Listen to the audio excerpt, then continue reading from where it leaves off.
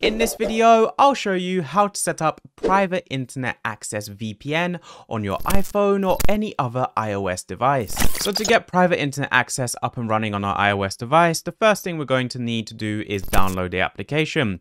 So if you head over to your app store and simply just type in private internet access here, and then you can download the VPN onto your iPhone.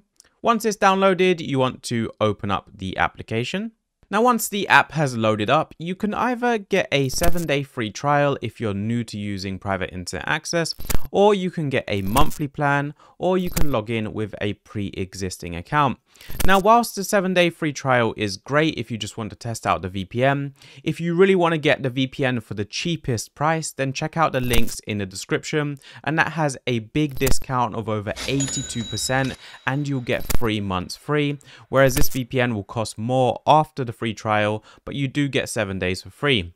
You could also test out the VPN with the free trial, which is what I would recommend for seven days. Cancel beforehand, and then if you use that link in the description, you'll be able to save the most money on a long-term plan. So I'm just going to log in with my pre-existing account.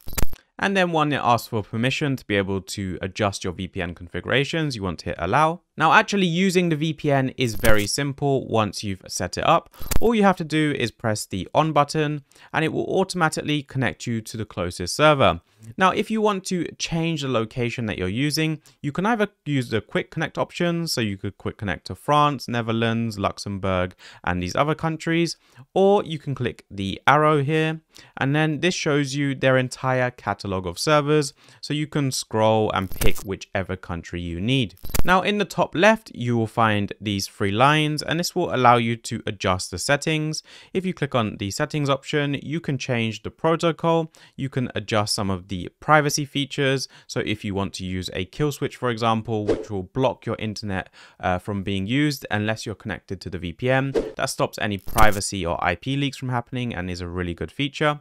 You can also adjust some of the general settings, which is mostly just related to your iPhone. Other than that, you'll be good to go with private internet access. And now you can connect to any server you want in their catalog and change your IP address or hide your IP address from anyone that could be spying on you. You can also access some Netflix geo-restricted content and other services that are only available in certain countries. So that sums up my video on how to set up private internet access on your iPhone. I hope you enjoyed. If you did, please leave a like. And if you're new here, hit that subscribe button. Until next time, have a great day.